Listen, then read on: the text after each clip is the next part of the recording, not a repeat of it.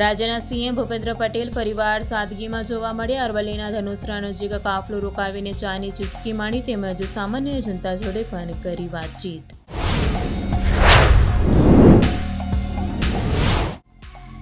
ગુજરાત લોકસભાની ચૂંટણીમાં ઓવેસીની પાર્ટીની એન્ટ્રી, ભરૂચ અને ગાંધીનગર બેઠક પરથી લડશે ચૂંટણી. ઉમેદવારોની પસંદગી પ્રક્રિયા શરૂ કરાઈ.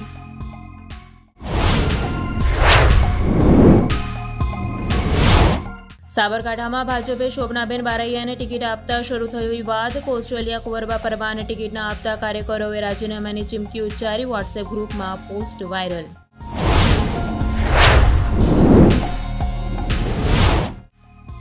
Rajkot Ahmedabad highway પર ચોટીલા નજીક થયો ગંભીર અકસ્માત. એમ્બ્યુલન્સ સાથે ટ્રક ધડાકાભેર અથડાતા ત્રણ થયા કરુણ મૃત્યુ.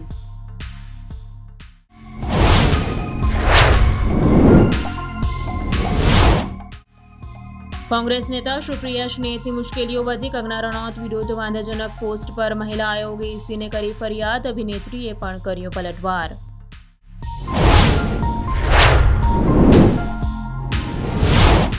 દિલ્હીના સીએમ અરવિંદ કેજરીવાલની ધરપકડ બાદ આપનું પ્રદર્શન પીએમના નિવાસસ્થાન બહાર ચુસ્ત બંદોબસ્ત ગોઠવાયો બીજી તરફ કેજરીવાલના રાજીનામાની માંગને લઈને ભાજપે પણ કર્યો વિરોધ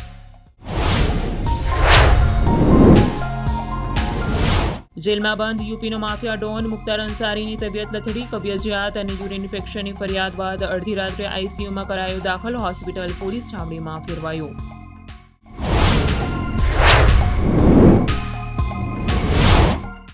સીએમ અરવિંદ કેજરીવાલે ઈડી કસ્ટડીમાંથી બીજો નિર્દેશ જારી કર્યો લોકોને હોસ્પિટલ અને મોહલ્લા ક્લિનિકમાં મફત દવાઓ મળતી રહે તેવો આપ્યો આદેશ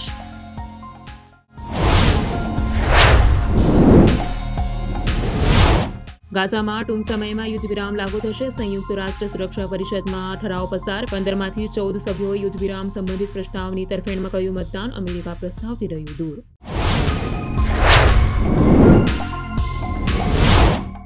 આજે આઈપીએલ બે હજાર ચોવીસની સાતમી મેચ ચેન્નઈમાં રમાશે. ગુજરાત ટાઇટન્સ અને ચેન્નઈ સુપર કિંગ્સ વચ્ચે જામશે મુકાબલો. બંને ટીમો જીતની આશા સાથે ઉતરશે મેદાનમાં.